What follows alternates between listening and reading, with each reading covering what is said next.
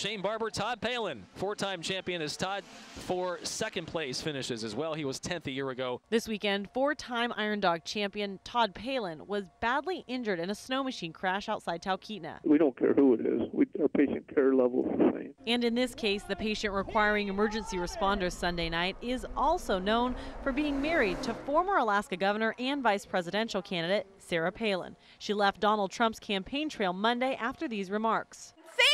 Thank you guys for your prayers for my husband, who is recovering right now in ICU. Todd Palin broke several ribs, his clavicle, and injured a lung, according to his father, Jim Palin. But it's going to be a while before he's back to normal. He was tough then, and he's tough now, and I'm sure he'll he'll come through this. And the 51 year old racer broke his arm in 2008 while on the trail and still managed to finish in fourth place.